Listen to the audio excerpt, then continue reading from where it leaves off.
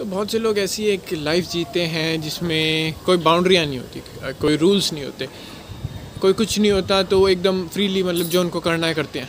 आ, अब ये बाहर से देखने में तो ये इनकी लाइफ अच्छी लगती है कि हाँ चलो जो मन आ रहा है वो कर रहे हैं। पर अगर आप उनके अंदर जो जाके देखोगे तो शायद वो अपनी लाइफ से इतना सेटिस्फाइड नहीं होंगे।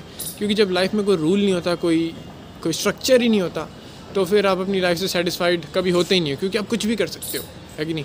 कोई रूल ही नहीं है क्योंकि, कोई लिमिट ही नहीं है किस चीज़ की। तो ये लिमिट होना बहुत ज़रूरी है। क्यों? क्योंकि अगर लिमिट होएगी और रूल्स होंगे तभी आप अपनी लाइफ को एक स्ट्रक्चर दे पाओगे, एक डायरेक्शन दे पाओगे और तभी आपकी लाइफ सही दिशा में जाएगी। अगर बिल्कुल लिमिट लेस रख दोगे तो कोई सेटिस्फैक्शन नहीं आएगा। आप हमेशा और चाहते रहो कि मुझे और मिले और मिले। पर सेटिस्फैक्शन जो है, जो सबसे बड़ी चीज़ होती है, वो नहीं मिल पाएगी।